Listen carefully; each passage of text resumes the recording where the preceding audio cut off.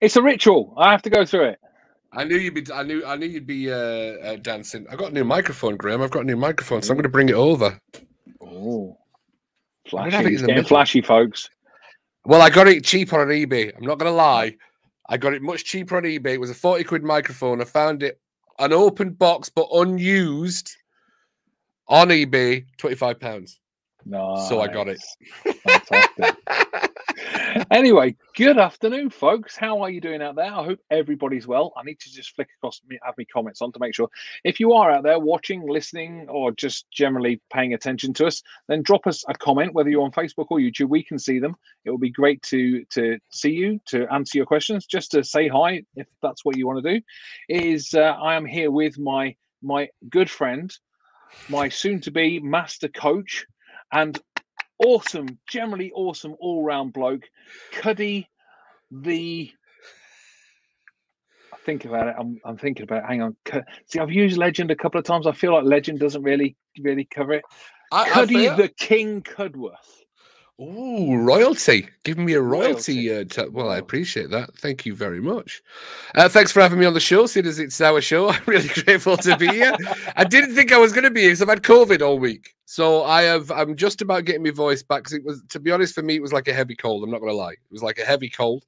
Um, so I've just been getting over COVID. So I'm, I'm very uh, grateful to be here. Um, just what a great show title. But before we go into the great show title, I want to say it's a pleasure uh, to be working alongside my mentor, the man, the one, the only. There is only one because I googled it. Graham Nichols, everybody. Graham Nichols. You, you clearly didn't Google it that well because there is another Graham Nichols. He's a spiritualist. Believe me, I've checked. Oh, is he? Yeah, he is absolutely. When I wanted when I wanted GrahamNichols.com, I went to get it and he'd already got it. The, the bleeping, bleeping, bleep, bleep. Um, so yeah, apparently there's a Graham Nichols who's a spiritualist as well. But that's not me, folks. I promise. Uh, so anyway, it's a pleasure to be here as it always is. Um, and we're going to talk to you about today. Um, you can see it scrolling across the bottom of the uh, the screen. What what to to do, when you do. thi- when you think life is completely shit, or also you know what to do when life turns to shit. And that happens for all of us doesn't it It point, does. life just falls apart and turns to complete and utter shit let's be honest about it i know we shouldn't swear on the radio and i promise that's the only swear word we're going to well i'm going to use today. i don't know about It's in the show title. It is in the Yeah. show title. it is in the show title. Um, so you know, for, for everybody at some point, life turns to complete and utter shit. And for some people, it does it on a constant basis. Some people, they, their life seems to turn that way, you know, every day or once a week or something along those lines. Right, The question is, can we do anything about it, Cuddy? Can we do anything about it?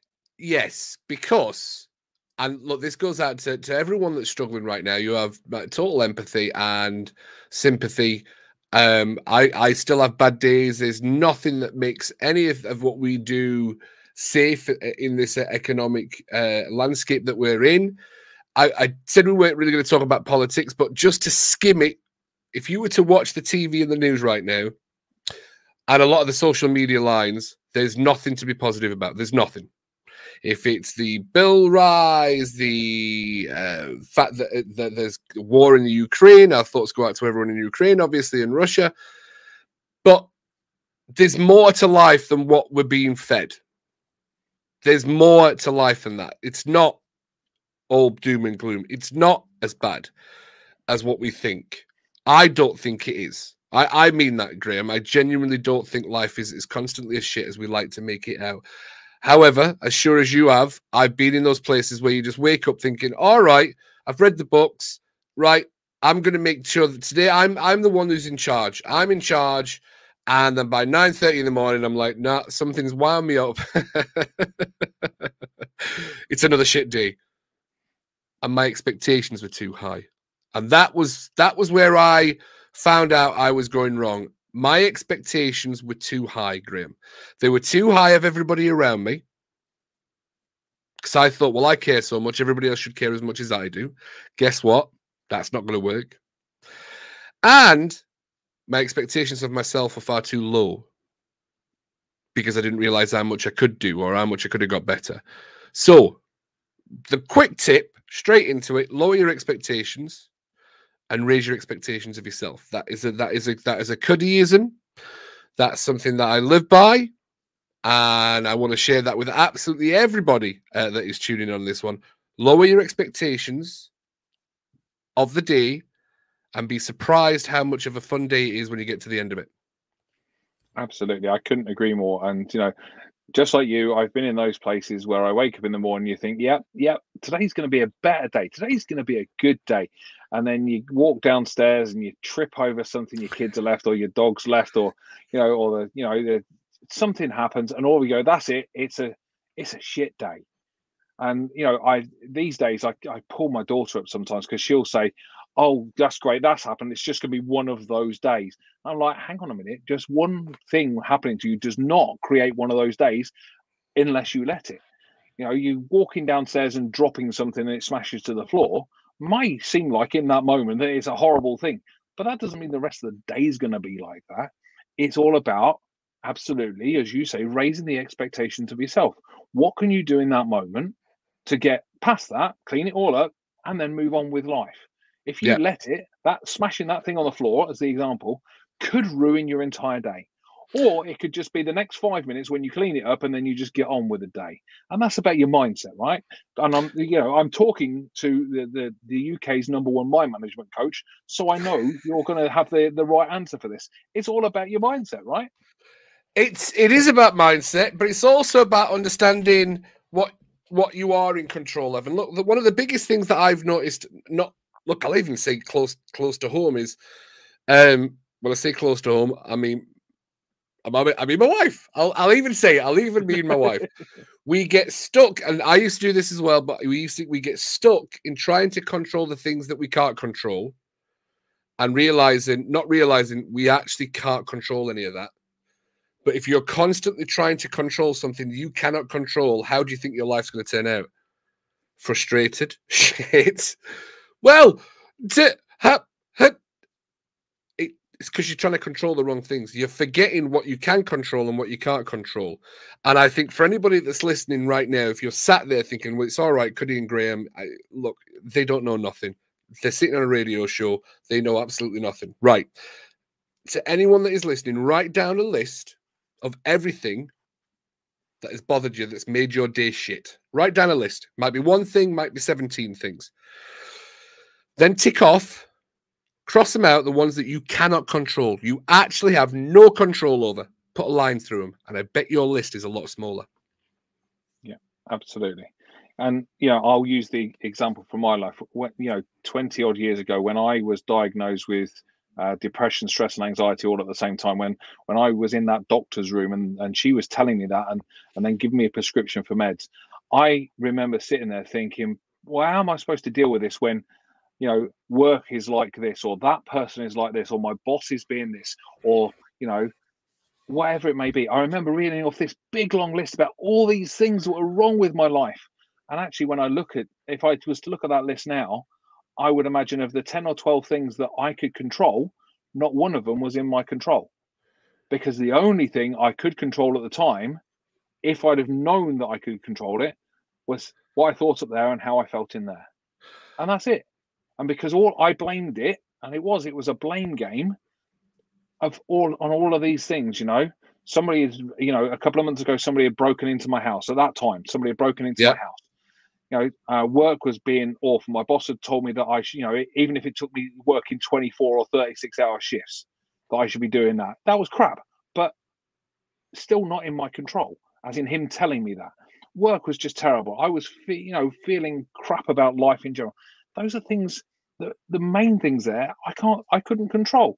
But I blamed everything and everybody else for how I was feeling.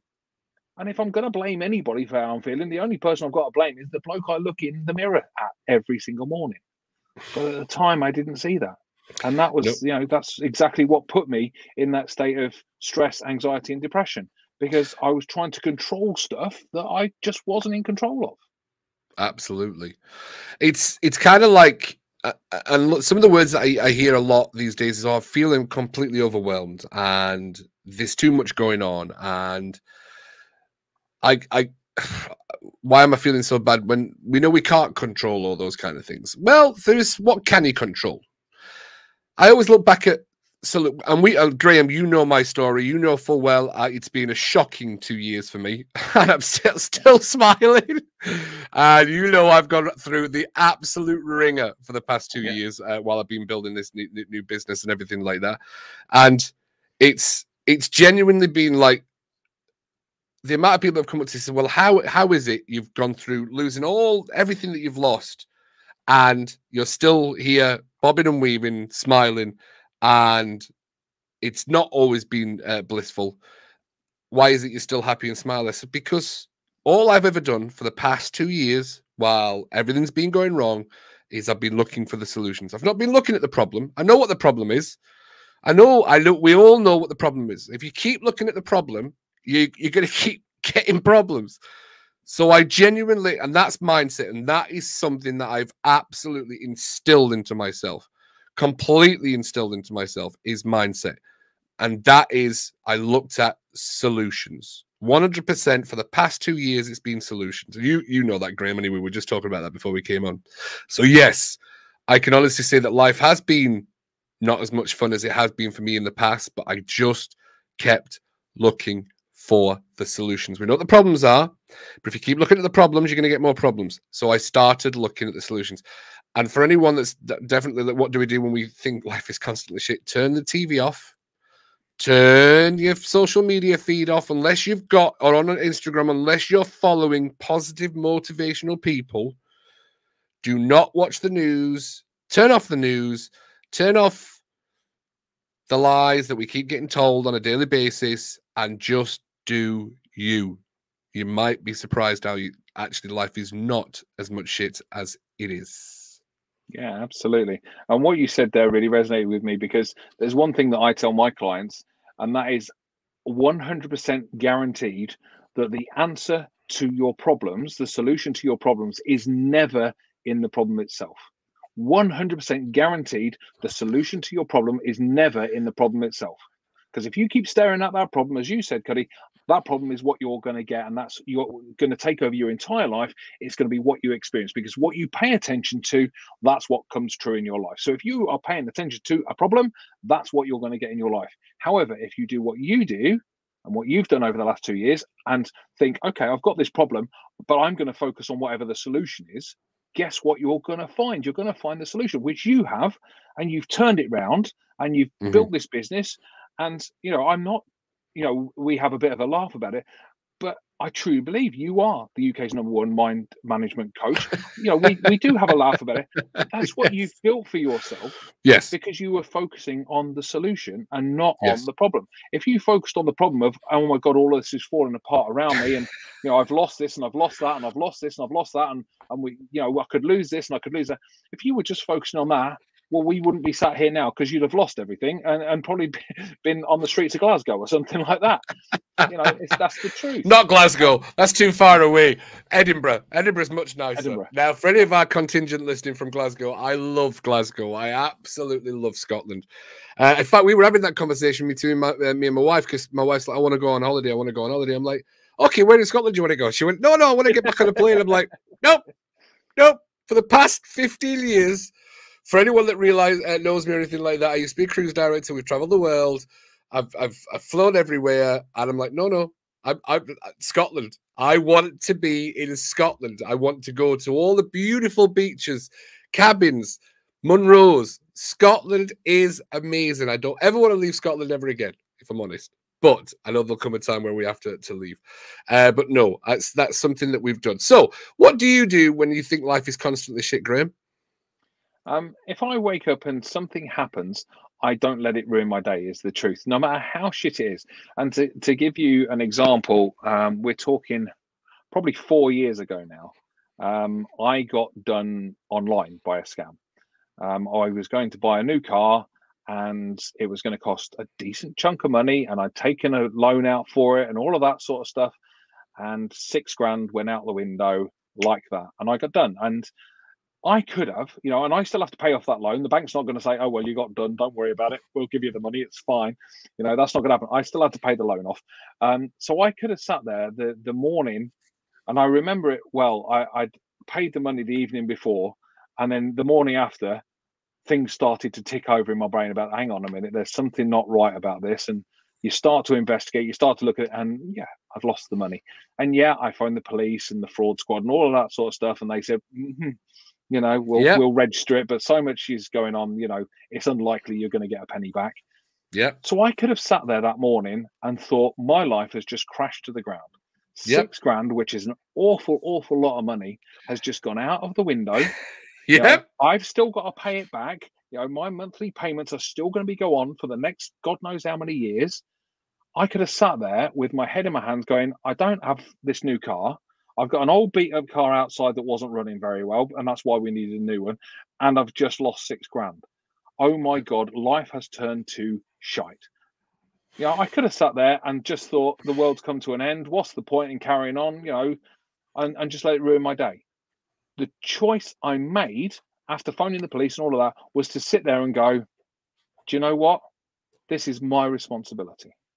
It's not the person who's ripped me off because I could blame them. You know, clearly they were, you know, excuse my language, but they were assholes. But I'm the one who hasn't looked deep in deep enough into this. I'm yep. the one who hasn't done the investigation.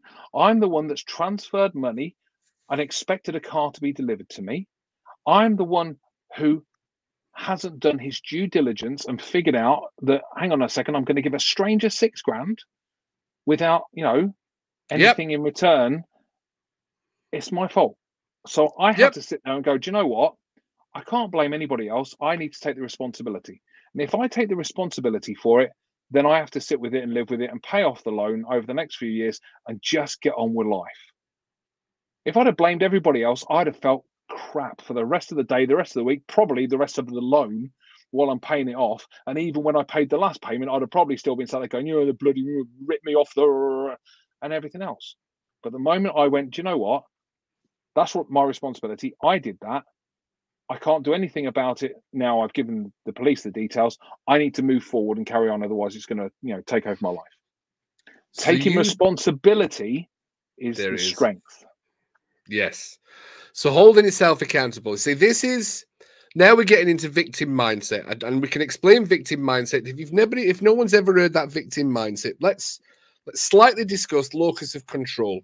A big, massive fan of the locus of control about internal and external, which means, and for anyone that's listening, if you, this might trigger, this might trigger certain things, and hopefully it's a positive trigger. And I mean that sincerely, because once you start realizing and recognizing something, that's when you can start thinking, oh, I can do something about this. So, victim mindset or the internal locus i've said that right internal locus external locus of control is external. where you ex- external locus of control when you are blaming others for how you feel when you're blaming everything else and you're not taking control of you you start creating the mindset of a victim someone who says well it's not my fault this is not my fault think of like um kids when we were younger and we were scared and we didn't want to get in trouble uh, that little bit. No, it wasn't me. It wasn't me that that spilt the, the the, the the sugar puffs this morning. No, I don't know what it was. And we create this, embellish this story that then becomes a belief. Believe it or not, it was no, it wasn't me. It was somebody that came in. It was my imaginary friend. If anyone's got imaginary friends, I'm not saying they're real or not real. You enjoy your life. I'm just saying as an example, right? As an example, we're creating a story of we're not in control, and whatever we can keep blaming that person and that person and that person you're not taking control. So you're allowing yourself to feel and constantly move on. Now, that's the comfort zone that people create. Don't know if you've heard this in the past, but nothing grows in the comfort zone. What we do in that comfort zone, that little safe space that we create, is we create a safe space of sadness, of emotional uh, disturbance, of, of depression, anxiety. Is, uh, and we stay in this comfort zone, which is not a comfy place to be. It's not a comfy place to be in any way whatsoever. Now, the internal locus, locus of control and not being in a victim mindset pretty much starts saying, actually, I'm in charge of me. Today, I'm in charge of my emotions. Check in with your emotions. This comes back to the sausage stealer story from a long time ago, Graham. People are still going to steal your sausage. It's what you decide to do with that. And look, you told you about the car about six weeks ago, I got my tag watch stolen. And you're absolutely right. I didn't do due diligence. In fact, at one at one point, I did want to punch the guy in the throat, but on the second snapping, straight away, I was like, "Do you know what? I didn't show due diligence. I, I was trying to sell my watch so I could pay for something else, but I was like, it was going to be, it'll be a win-win. It was a win-win for the other person. You're absolutely right.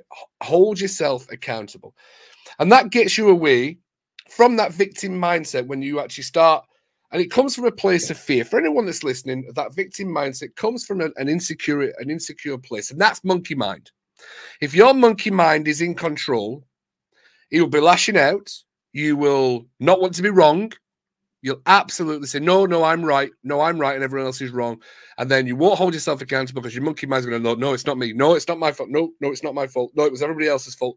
And then you, you start, you stop taking that responsibility. You stop taking that charge. You're 100% right. That's victim mentality, mindset that, that is out there. And you can get out of it. I know we do the four states of consciousness, Graham, and I believe you can. I believe I've been in every state of consciousness. I've been no, I haven't. No, I haven't been in the top state of consciousness anyway, because I'll keep checking out for that one.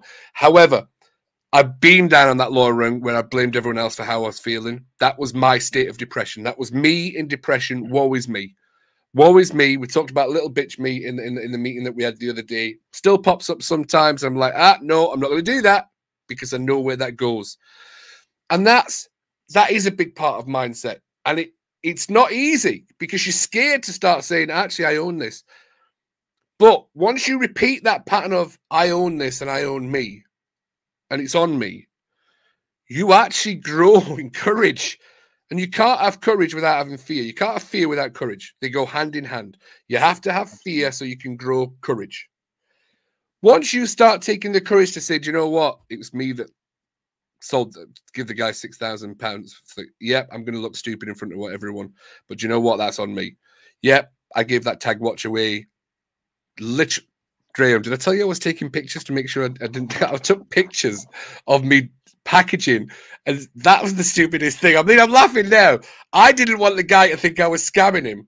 And I'm like, well, it's an expensive watch. So I took pictures so he felt secure that he'd given money in a holding account. And I'm taking pictures. And this is the thing when I was taking pictures, I'm like, I hope he doesn't think I'm scamming him. but that's that's the niceness that we have, right? That's the niceness. But at least and a boom when, when I realized I'd, I'd been scammed, and I'm like, it was one of the emails that they sent, Gray, which was the funniest thing is, don't worry, we've got your money in a safe place. I went, why would you tell me? Don't worry. That's that right there. That's a scam. I knew straight away. You wouldn't say don't worry. And that's that to me. I'm laughing now because the second that email came in, I'm like, I, the hardest part was telling my wife I didn't mind about the watch. It was the it was the reaction from the wife. Oh, it wasn't pretty, Graham, I can tell you that. But that's locus of control taking accountability, uh, which is not easy. But once you start doing it more and more and more, you actually grow in courage to a point where you'll say, nah, that could be on me. That could be on me. I'll take ownership for that one. yeah, and I think it's it's really important because people will be sitting out there. But well, what if somebody does do something to me? What if you know if if somebody at work walks up to me and has a right go at me and calls me names and swears at me and all of that sort of stuff? That's not on me. No, you're right. It's not. What is on you and what is your responsibility is your reaction to that. What other people do, you can't control. That's external of you. You're absolutely right. But what you can control is your reaction to that. You know, if somebody comes up to you, it's a it's a bit like road rage, isn't it? We hear so much, you know, these days about road rage, and well, I say these days, but for the last God knows how many years, we hear so much about road rage where people get out and they scrap in the streets, and you know, people have been killed over it and stabbed and all sorts of stuff over it if somebody does something to you on the road that cuts you up or that you know endangers you in some way that reaction is yours and yours alone. If you then get out belt that person in the mouth and they report you to the police and you get done by the police you can't then turn around and say well he cut me up on the road. It's his fault. No your reaction and therefore the trouble you're getting in is your fault. If you got out and smacked somebody in the mouth that's your fault not anybody else's. Doesn't matter what he's done to you you know, I, I like you, Cuddy. If I'd have come across the person who who had the six grand off me, well, in the first moment, I'd have belted him one. Absolutely would I. But then I suddenly realised, like you, something switches, and you go, "Yeah, I really should have done that, that, that, and that." Now, I'm going to be honest with you. There's sometimes you, I've made conscious decisions, and I mean it. And I'm like, no, I think this is this is one of those situations where anger is needed. It is needed, and I've done anger, and I, I, I it's made me feel really good for a good couple of minutes. And then once I've calmed down, I'm like, oh my god, I can't believe it. But no, I, look, we're human beings. At the end of the day, we're human beings. We're going to have these emotions, and I always we're not robots. We're not robots. We have emotions. That's what makes us so unique as human beings. But what what do when you I know where I was, Graham, and I know we always come from a place of our experience and stuff like that. But when you see people on a daily basis, the shoulders are down, and they're just, you can tell they've got that little dark cloud around them. They've got that dark cloud around them. I'm very sensitive to those kind of things because I know where the way I vibrate and things. And I'm like, I'm going to move myself away from that person. It's kind of hard. So when you see that person with the shoulders down, and they don't want to come up, Graham, they don't want to come up. They want to stay where they are. But what is it that what's creating that constant feeling of life is being shit? I think we get we all get into patterns. We all have emotional patterns that we go through, and every single emotion we have in our uh, our entire system, whether it's depression or anger or frustration or joy or happiness or whatever, is a pattern that we run. But because we get into patterns, the ones we experience, the ones we practice the most, it's like practicing a skill. It's like practicing kicking a football.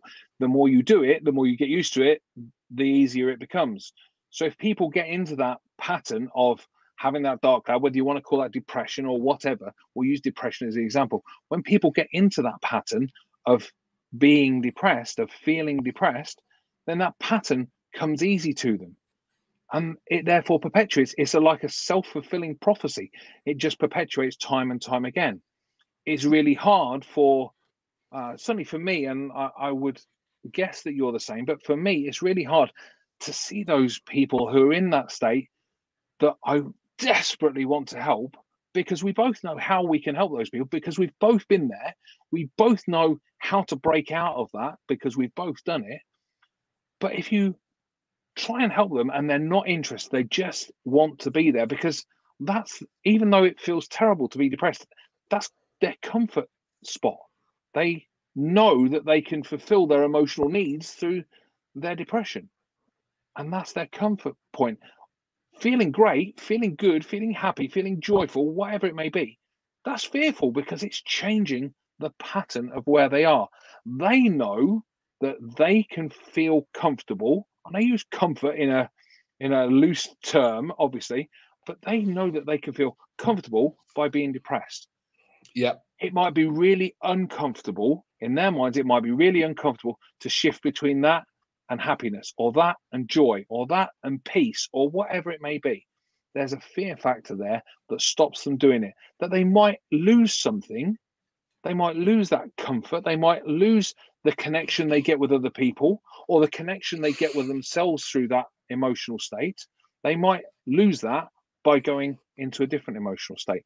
And people do get stuck in that and genuinely no matter what they say out loud or even what they say internally, somewhere inside, that is giving them something that they need. And that's the hardest person in the world for me. To me, it's the hardest person in the world because I desperately want to help them, but not everybody wants the help. And that's a really, really hard thing as as somebody who at his core is a helper, mm-hmm. at his core wants to see people happy, at his core doesn't want people to be suffering and if you want, mm-hmm. uh, you know, a definition of somebody who is emotionally suffering, that for me is that person who's stuck in that pattern and is fearful of getting out of it. That's yep. you know emotionally suffering from me. For me, yeah, I just find that really hard. You know, when, I don't know about you. When you come across those people, do you find it really hard to to say, you know, okay, uh, look, help? We've had these conversations before because you look, it's horrible. Hi, David. Welcome to the show. Good evening, uh, David. Hi, David.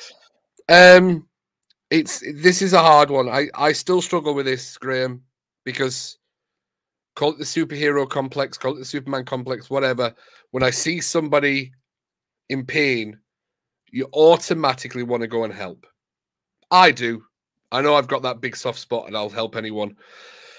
but you can't help people that don't want help. They're not ready to hear the truth. They have to, like I had to go through my my upset and my torment. I had to go through it. Didn't break me. Got as horrible as it was at the time I was going through it, made me stronger.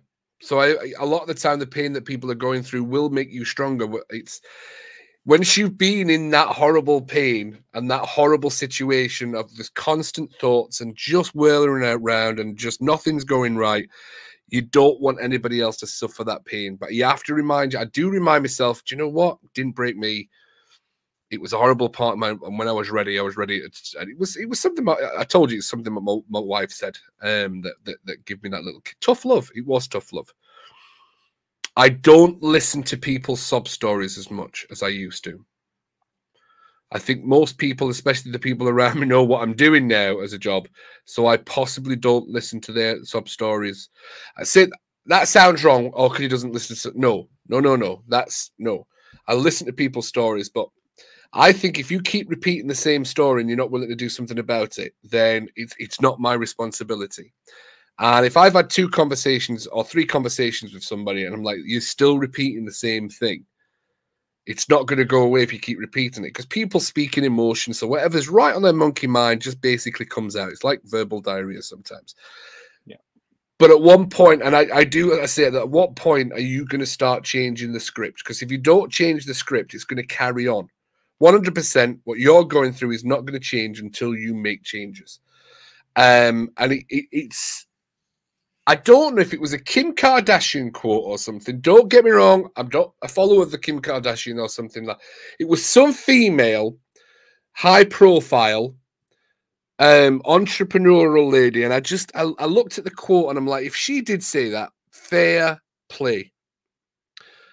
And it was something on the lines: if you keep talking about something, you're looking for attention, not salvation. It was something like you keep repeating. If you mention something three times, you're looking for attention, not salvation. It was something really poignant like that. Keep repeating it just to tell a story to get that, oh, bless kind of uh, reaction. That that is seeking attention. It's not always, and that's I think that's the fine line that everyone is is when somebody starts keep repeating that program or keep repeating that story, think, oh, they're just looking for attention. Are they looking for attention? They're looking for someone to to to because there is enough help out there. You can walk into the works and pay three pound for life changing books. Um, but we choose not to and sometimes repeat those stories. I don't know if this is a harsh conversation uh, to be having and stuff like that. And it's certainly not a personal opinion, but yes, life I don't think is as shit as what people think it is. I think if you look for solutions instead of the problems, you might start actually moving somewhere. But it's not taught to us, Graham, is it? It's not taught to us. The biggest shock I had in my life was what's in the past has to be let go. When you keep going back to something in the past, it's an anchor and it's stopping you moving forward. You've got to drop the anchor and sail away. Yeah. That's the, literally the only thing that you can do is it's in the past you can't change it. As horrible as some of the absolute atrocities that happen, you can't go back to it. The only ones that keep bringing it back to, to, fruition is ourselves by talking about it and looking back into it. You have to let that anchor go to keep moving forward. But it does become that comfort blanket for people, doesn't it? Sometimes. Yeah, it does absolutely. And um, while you were talking there, that uh, something came to my mind. You were saying about I don't think life's as shit as we like to think it is. I I uh, a quote that came to my mind, and I don't know if I've heard it from somewhere or if it's just decided to appear yeah. in my mind, is life is only as shit as the things you focus on. It's similar to the yeah, absolutely. Yeah. So if you if you are constantly focusing on, you know, Ukraine or constantly focusing on the cost of living at the yep. moment, or constantly focusing on COVID, or constantly yep. focusing on how much of an arse your bosses or constantly yeah. focusing on you know your negative real relationship with your kids or with your wife or husband yeah. or whatever if that's what you're constantly focusing on guess what that's how shit life is if you're focusing on what's great in your life if you're focusing on what you can do to make your life better if you're focusing on the sunshine if you're focusing on the beautiful flower outside if you're focusing on your great friendships or your great relationship that's how shit life isn't going to be. when you focus on the right things, that's when your life changes. To Yeah. quote Wayne Dyer, ch- w- w- you know, when you change the way you look at things, the things you look at change. Yeah. I do you know what? It was when you talked about there's an awful lot of shit talk on uh, this radio show today. I've just realised it was in the title of the show. I don't know if it was you I was talking to, Graham, and I said I was trying to use the art of perspective to, to explain to someone, and it's going to be perfectly formed right now that in a big, beautiful landscape piece of art, beautiful landscape, fields, poppies, lovely yellow flowers, whatever you want, you look on this beautiful picture of landscape. However, if you look at the dog shitting in the corner and you see the dog in the picture having a having a poop in the corner and you're only looking at the poop you're not going to see this big massive vast beauty behind it Absolutely. It's um it's a bit like there's um it's a true story, but for the life of me, the guy's name forget um escapes me. During the Vietnam War, uh, two American pilots were shot down on the same day and captured uh, by the Viet Cong and put into um, prisoner war camps. One of them committed suicide. The other one stayed in captivity for years, came out and carried on being a human, you know, a normal human being. Why? Because one of them, all he saw were the bars and the captivity and the horror, whereas the other one, and they asked him how he survived, he said, I survived by every day I remembered my family. I pictured them clearly in my head. I pictured my kids playing in the back garden. I pictured my wife. I pictured my parents. And that's what he focused on. One guy focused on the bars and the captivity and everything else and ended up committing suicide in captivity. The Mhm. other one escaped because he was able to survive it by focusing on his family. If somebody in that horror of a situation Mhm. can focus on the positive things and come out of it, there's not too many things in life that that we can't do the same with, is there? um no I, I completely agree i completely agree why is it we weren't taught this in school graham why Well, now we're not going to touch on politics today because we said we weren't going to touch on politics. Um, so I'm not going to go down that route. However, what I will say is if we were all taught this, wouldn't we all be a lot more free than we currently are? oh That's as far as I'm going with that for today. But I is- feel like I'm talking case? to Kanye West right now. You're dropping some Kanye West knowledge. Kanye. What do you want me to do? Drop a microphone? Right. Isn't that isn't that the truth? If we all knew how to be more free in our mind, if we all knew how to set up our own positive, empowering beliefs, if we all knew how to figure out our own values, our own core identity, who we are, if we all knew how to have a positive, empowering, free mindset, would we be as trapped into the, the world that we're in? Or would we be more free as human beings? Would we put up with all the stuff that goes on around us basis quite as much. I don't know uh, who you know. I'm. It's not for me to say. It's not for you Graham know. I can. I have my own thoughts and opinions, and and everybody out there has their own. It's not for me to say, but that's my thoughts and opinions. If we were taught that in school, would we be quite as trapped into this life as we currently are, or would we be more free? There you go, Cuddy. I'll answer your question with a question. Would we be more free? I want David to jump in on this one. David's tuned in. I want David to jump in with a question because I think that was very matrixy, Graham. That was very matrixy. I was like, ho ho ho ho! Uh, is Graham Nichols wanting to escape the uh, the Matrix? I think that was a fantastic. Well, call me Neo. oh, absolutely brilliant, absolutely fantastic. So, as life is getting, I see. I, I don't agree that life's getting tougher. I don't. I know that you mentioned what's the point in carrying on. See, I heard you say that earlier.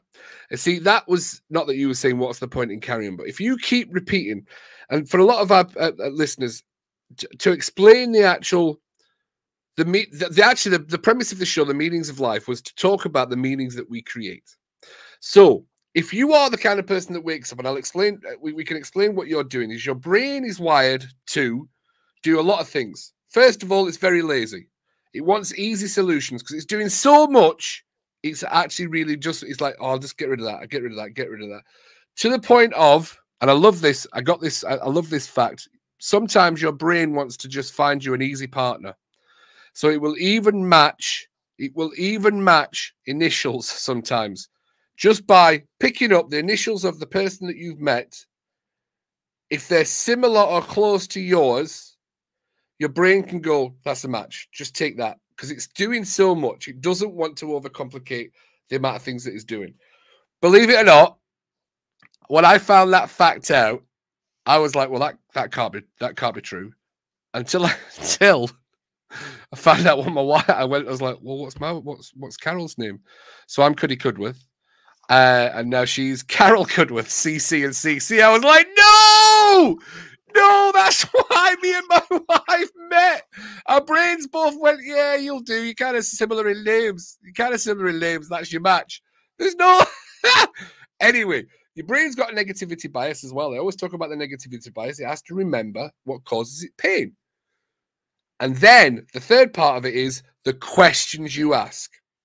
The questions you ask create the meaning. So if you ask a question, why is everything shit? Your brain has to answer that question. And your monkey mind will jump in as well. And it'll say, well, your life is shit because you did this, this, this, and this.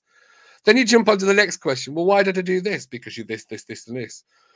That that internal chimp talk, that that, that monkey talk that we have, that, that that that that the coding that we have, if it's not positive, you will absolutely think that life is constantly shit.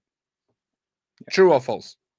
It's absolutely true. The, your brain will absolutely answer any question in the tone that you ask it. If you ask it a negative, disempowering question, you are going to get a negative, disempowering answer. If you ask it a positive, empowering question, you're going to get that type of answer. If you ask why is life so shit, your brain's going to tell you why life's so shit. It really is. On the other hand, if you ask the question, how can I make life better and not be so shit? Your brain's going to give you a lot better answer. It's going to give you solutions. And we started this show by saying that you the, the answer to your problems is never in the problem itself, it's in the solution. So if yeah. you ask your brain for a solution, that's you're going to get solutions for how to move forward. That's what you've been doing for the last two years. You haven't yes. been asking, why has this happened to me? Why is this no. going on? Why this? Why that? What you've been asking is, how can I? How can I get out of this? How can I make this better? Yeah. How can I, you know, all of that sort of stuff. That's the change you've made. Uh, or sorry, not the change you made, but the way you've dealt with everything that's gone on mm-hmm. and, and everything that was going on around you. That's how you've made that. And that's what people have got to do while you were talking, I was looking at my notes here for a for a course that I'm uh, that I've just released. Uh, there are, do you know, there are three questions that our minds ask constantly, and those three questions, if you can answer those three questions, and therefore stop your mind asking them and trying to search for answers, then you will increase your levels of focus by somewhere in the region of 75 Oh, I'm interested. Oh, I'm interested. So the three questions your brain always asks are what should I focus on? What does that mean? And what will I do? So if you can decide what you're going to focus on, what it means to focus on that, and what you're going to do about it, guess what? All that energy of your mind constantly asking those questions isn't taken up. So if you can ask, eh, answer the question, what will I focus on? And you choose to focus on either the solutions or what's great in life or something along those lines. If you choose the meaning, therefore, that I'm going to find a solution or that life's good or that life's getting better every day. And if you choose to, the things you choose to do are towards that solution or to, towards life getting better every day, guess what's going to happen? Life's not going to feel so shit. And when life turns to that word that we've said far too many times, if you can switch, though, if you can find the answer to those three questions in a positive way, then that's not going to happen. When you know, when somebody add your tag watch away, you could have focused, you could have said, What will I focus on? I'll focus on that person being a complete and utter bleeping bleep bleep. What yep. does it mean? It means he's a bleep bleep and he's ripped me off the bleeping bleep bleep. Yeah. What am I going to do about it? I'm going to go and find him and beat the bejesus out of him. I did that for an hour. Don't get me wrong. I did that for an hour. Absolutely. I allowed myself some worry time. Yeah, you, you, you, things like that, you're going to get frustrated for a while. I get that. But you could have let that go across your, your whole day, your whole week, your whole month, because that's a big thing to lose. But instead, you switched to what am I going to focus on? Okay, I was a bit of a Burke and you know I didn't do my due diligence. I didn't do that. What does it mean? It means I'm a bit of a Burke and I'll know differently in future that I'm yes. not going to get ripped off. and what am I going to do about it? I'm going to hold my hands up, tell my wife, take the beating that she's going to give me. Oh, it was a big then, beating. And I'm sure it was. You know, when I told my wife that we'd lost the money over the car, gee, it's like a nuclear bomb. I'm surprised, surprised you didn't see the mushroom cloud from Scotland. Um, but you know, I, what am I going to do about it? I'm going to hold my hands up and say, do you know what? I'm going to take responsibility for it. I should have done better. And I answered those three questions completely differently. So, what am I going to focus on? What does it mean? What am I going to do? If you can answer those three questions, the energy coming from your mind that's constantly trying to answer those questions, if you can answer it for it, your energy level is going to go up and you're going to go in a positive direction as long as you answer the positive, of course. So, yes. Yes. I like that. Um, do you know while you were talking, I wanted to know what your wife's name was? Paula. Paul. I knew I was thinking it was Pam. So Paula Nichols, Graham Nichols. Yeah. yeah. G and P are quite similar. Yeah. Uh, as you were saying that about Carol and all that sort of stuff, the one thing that came to my mind is my wife's middle name is Jane, and my mum's name is Jane. Oh, there, there you go. go. There's a link. Because your brain, that your brain, yeah, your brain. I, I think that was a Derren Brown thing. It was Derren Brown's audio book, and he was like, you know, your brain's doing so much, it actually is just constantly throwing everything it's taking in, even like the touch of the, the, the foot against the floor right now. There's a sensation your brain's taking that in, but it just it's like delete, delete, delete. delete. I'm just going to push that. Yeah, I'm just going to delete it. I don't need that information. That's not going to cost me my life. Your brain's purpose is to keep you alive. But when it was, it just wants so, and also you like people, your brain likes things that's like him or it.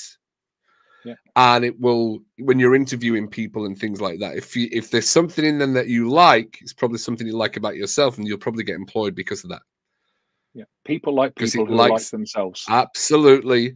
And I did, I, I did find that fascinating. Was like it's just your brain's lazy. It's actually because it's, it's a supercomputer. So anything it doesn't have to deal with, one less thing it can uh, deal with, one less decision it has to make, it'll do it.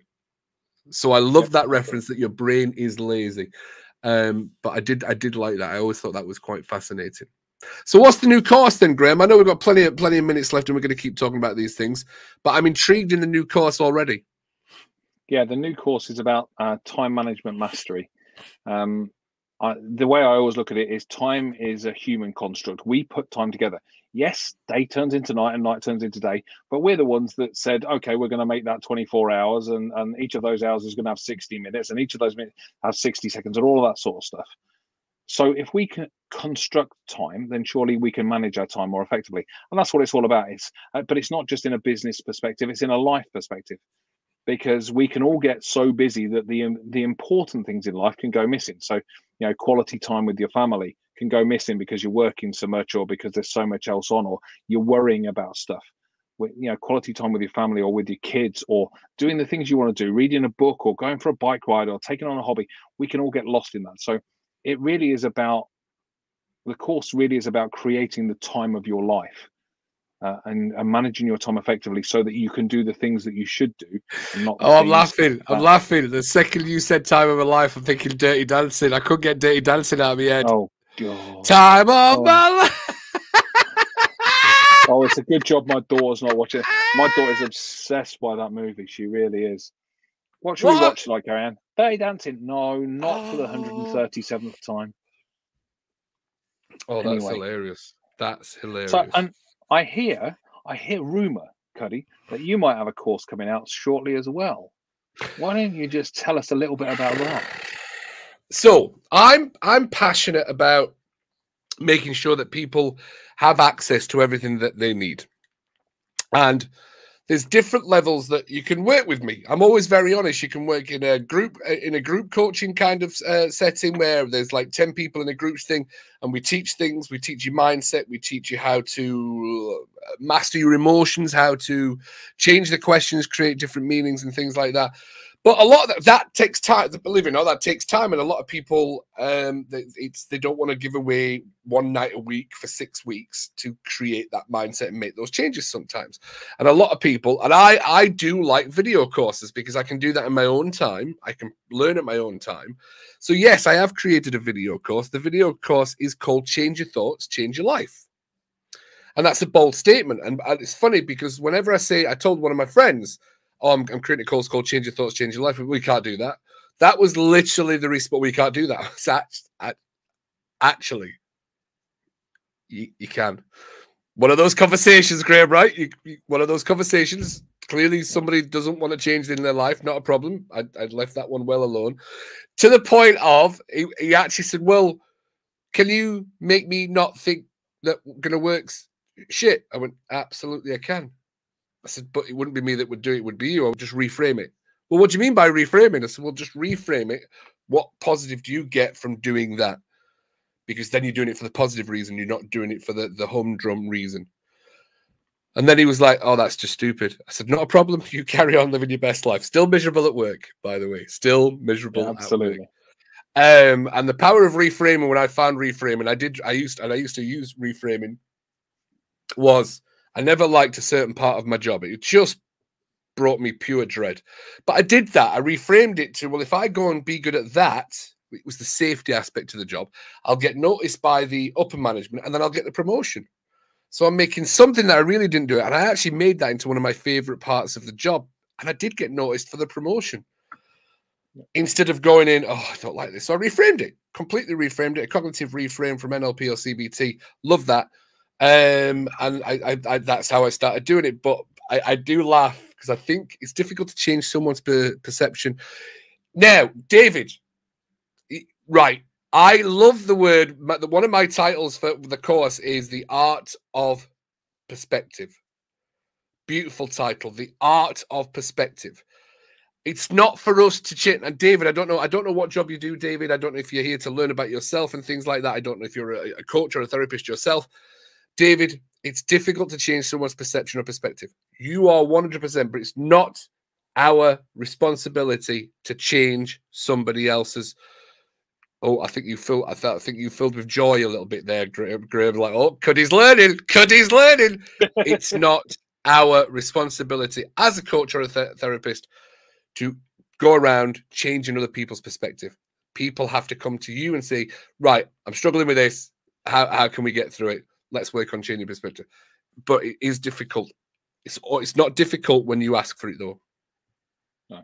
I would I would suggest how I would put it is it's impossible for you to change somebody else's perspective unless they want to change it first.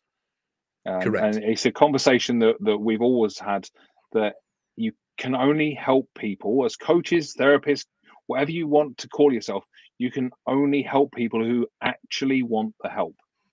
You know, if somebody comes to you and they don't want the help, they're coming because their wife sent them or their husband sent them or you know their work sent them or they just feel like they should, but they don't actually want to change, then they're never going to change unless they have the desire. Absolutely, if, they have the desire, I had, yep. Then you then you can absolutely help them to do that, but they still have to make the change. But you cannot change anybody who doesn't want to change. You know, nope. there's no, you just can't do it. Nope. Because even if you, you know, you know, in NLP, there's some great tools for conversational change, all that sort of stuff. And even if you help them in the moment and they think, you know, it's kind of making a shift, if they don't actually want to make that change, it just won't stick. No. Nope. And that's the truth. It will just the pattern will repeat, go back to repeating. It's yeah. only if people actually want the help.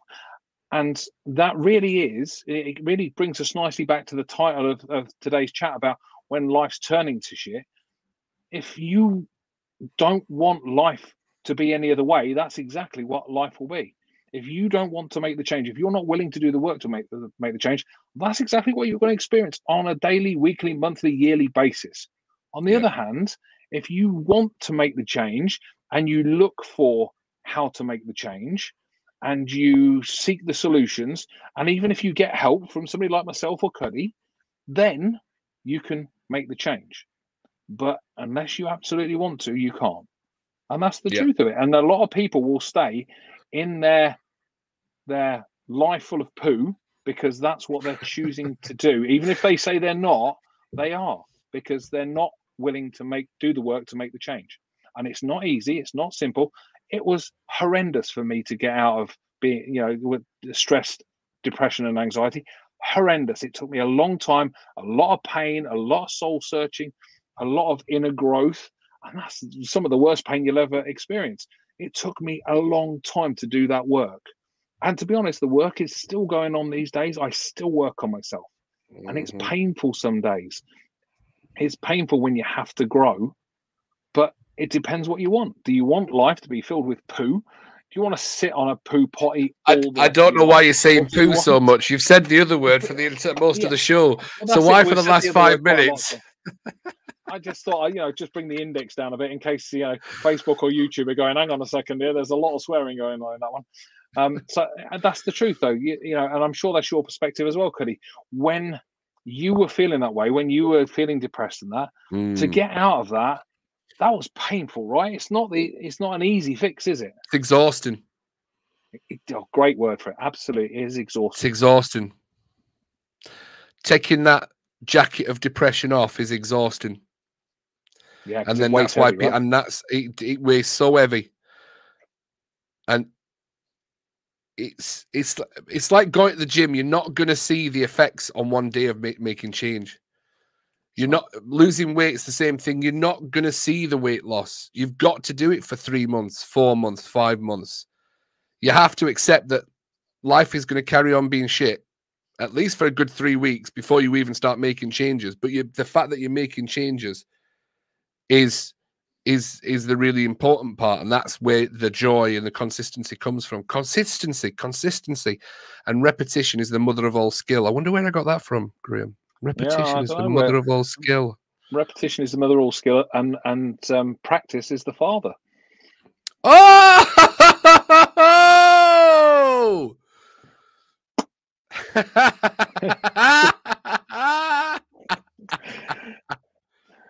I love that. That's very ah, good. Well, anyway, believe it or not, 57 minutes have flown by yet again. I don't know where this quick. time goes. I truly don't. We get into our conversations and all of a sudden it's gone. So, with just a couple of minutes left, Cuddy, tell everybody about Cuddy Cudworth, the, the UK's number one mind management coach, and where they can get in touch with you. You are more than welcome to sneak into my DMs. Uh, find the Monkey Mind Relaxation Carrie's Facebook in, sorry, group. Carrie's just jumped in. Carrie's just jumped in. Hi, Carrie. Carrie! She was on the show last week. I had her on as a guest. She was lovely. Yes. Lovely guest. Hi, Carrie. Um, anyway, and you can find Carrie on TikTok. No, it's not. No, let's get Carrie involved. And if you stop doing the work even after it's better, you return to where you were. Yes, Carrie, you're absolutely right. That's the same as losing weight. In fact, my wife always says the hardest part about losing weight is not losing the weight, it's keeping it off. Yeah, absolutely. It's keeping it off. Yeah. That's the hard part. And that's the exact same it's it's it's exhausting once you get, get lose depression because you'll I, I notice when my depression is coming back on or sometimes i don't and i'm like ah caught me out. My little monkey mind's very sneaky. Very sneaky indeed uh, yeah. So yeah, you can find the Facebook group. You can get in there. I've not been as vocal in the Facebook group recently because I've been busy creating the video. Of course, it's took hours as well. You know, Grim.